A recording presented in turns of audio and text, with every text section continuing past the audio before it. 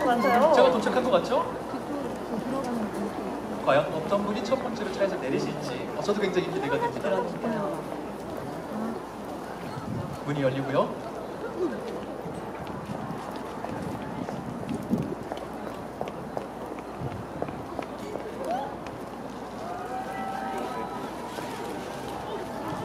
와, 첫 번째로 배우 안소연 씨가 아 아닙니다 죄송합니다 MC를 맡으신 김혜수 유연석 씨가 현장에 들어오고 계십니다. 네. 와, 정말 멋지네요.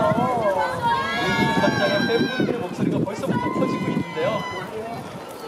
두 분은 공동 MC로서 벌써 여섯 번째 청룡영화제에 호흡을 맞추고 계십니다. 전체 팬분들에게 인사해 주시겠어요?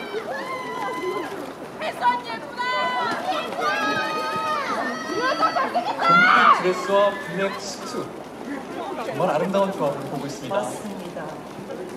레드카펫 중간에서 팬분들에게 인사를 나눠주고 계시고요. 김혜수 씨는 오늘로 30회째, 또 유연석 씨는 6회째 MC를 진행하고 계시죠. 김혜수 씨 같은 경우에는 오늘 또 여우주연상 후보에도 올라 계셔서요. 과연 어떤 결과를 갖고 계실지 기대가 되기도 합니다. 네, 유연석 씨는 오늘도 멋진 모습 보여주고 계십니다. 어, 또 이번 주에는요, 유연석 씨가 또 새롭게 주연을 맡은 드라마도 시작됐는데요.